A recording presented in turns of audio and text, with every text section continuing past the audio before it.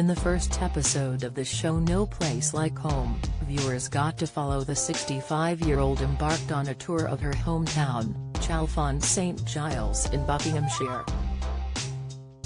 One stop she passed along the way was the cinema at Gerrards Cross where she touched on her relationship with her father who was an actor in the 1950s. Heading to the oldest cinema in Buckinghamshire, Fern met up with film historian Morris Bright who informed the presenter about the British film industry when her father was at the height of his career. Viewers learnt that in the late 1950s, her dad Tony had moved his family to the county as it was the epicenter of film studios at the time in the UK.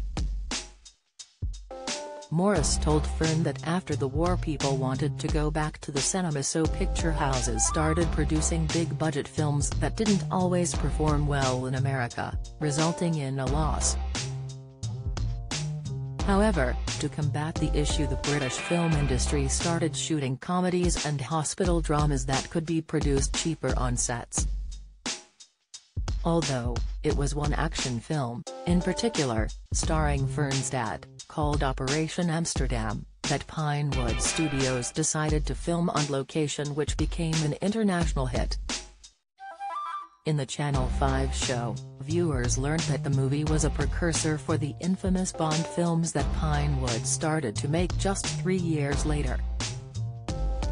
Speaking about her dad, Fern said, My father was in a film that was then the start of the big-budget British movies.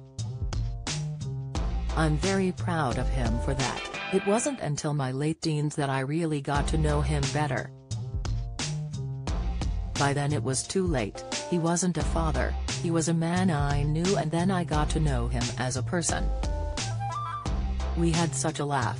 The presenter then recalled a time when they were waiting for their coffee to arrive but as her father wasn't wearing his glasses, he mistakenly put a condiment in the drink instead of milk.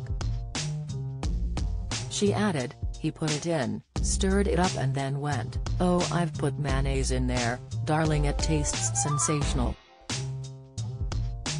Earlier on in the show, viewers learned more about Fern's past and how it was her mother who had brought her up in their childhood home. Walking around the place she grew up, Fans were informed that after 10 years of marriage Fern's dad left her mother Ruth and she learnt later in life that she was conceived on a short visit home by her father. Talking about growing up, Fern started to get emotional as she compared her mum to a goddess.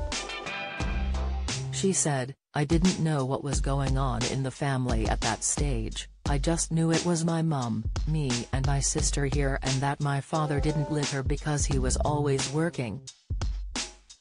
I was told some convoluted stories about why he wasn't here, it was odd in those days people didn't tell you things. My mother was, as you can imagine, everything she was mother and father to me which is why I can tell you lots of stories about her how strong she was and how hard she worked to keep it all together and how much I adored her, she was a goddess. No Place Like Home is available to watch on My 5.